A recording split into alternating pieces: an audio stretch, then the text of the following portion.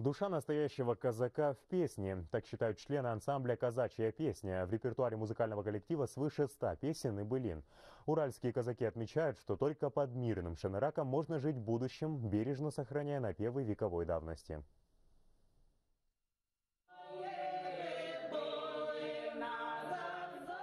Эта песня в оборочках. Именно ее спел казачий хор Александру Сергеевичу Пушкину, когда поэт приезжал в Уральск в 1833 году. Здесь он писал свою знаменитую «Капитанскую дочку».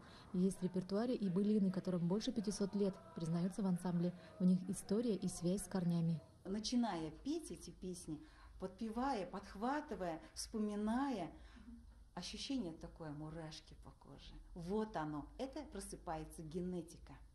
То есть эта песня впиталась на генетическом уровне.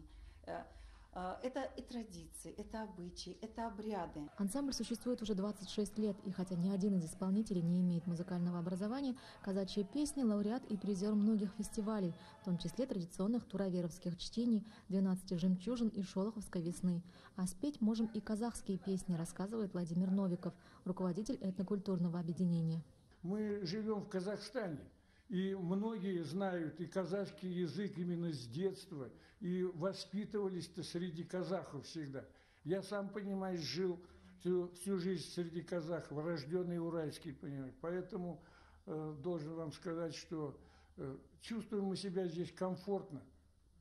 Даже никаких э, не чувствуем отличий, различий, понимаешь, все красиво и хорошо. Центр ЯИК был создан 13 лет назад для возрождения самобытной казачьей культуры и традиций.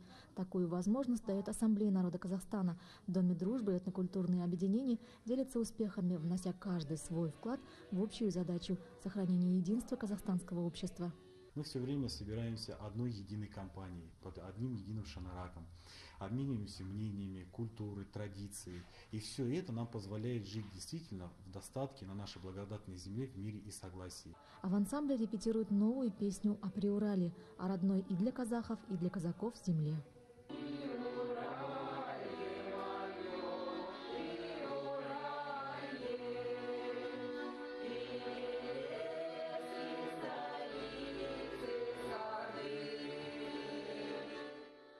Ботагоз Базарбаева, Руслан Мурзагалиев, Уральск.